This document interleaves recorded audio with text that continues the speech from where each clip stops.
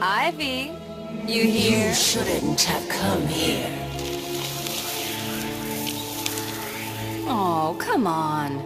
You're not seriously going to hold that against me forever, are you? You killed them all! Ah, they were just flowers, Ivy. I'll buy you some new ones.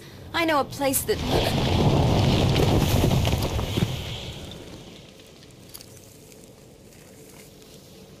Come on, Red. Can't we just... Oh, for the love of...